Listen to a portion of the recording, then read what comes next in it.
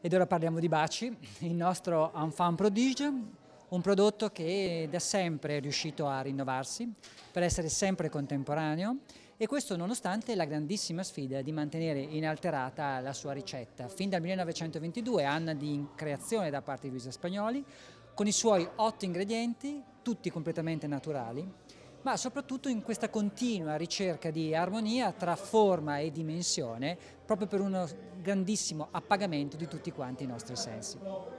Baci Perugina che quest'anno proprio in questo sviluppo, in questa evoluzione di stile, rinnova proprio una delle sue caratteristiche principali di prodotto, che sono i suoi cartigli.